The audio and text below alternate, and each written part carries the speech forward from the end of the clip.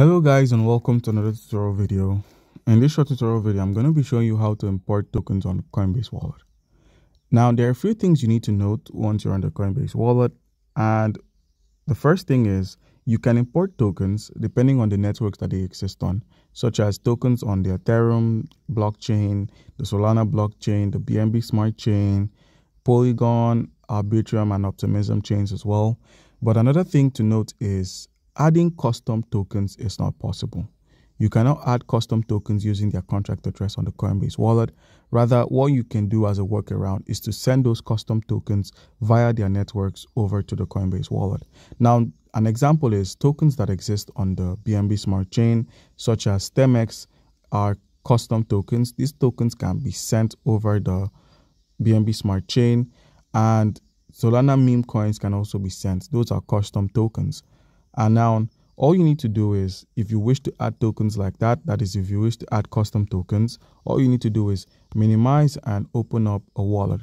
Depending on the wallet you wish to use, in this video, we're going to be working with the Trust Wallet. So open up your Trust Wallet.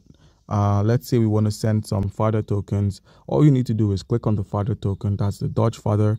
Click on the send option. You can get your wallet address from the Coinbase wallet. So minimize, open up the Coinbase wallet head to the receive icon at the top right, click on receive, copy your Ethereum wallet address, minimize, open up the Trust wallet, paste the address there, enter the amount of dot father tokens you wish to send, click on next, and then click on confirm.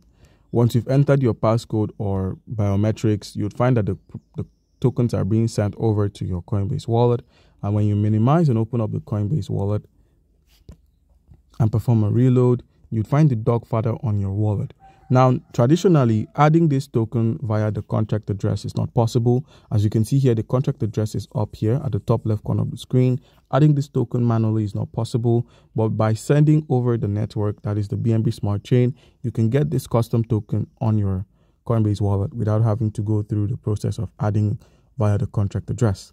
So guys, do comment down below if you have a question concerning how we can go about any of this and you'll be given an answer. Thank you.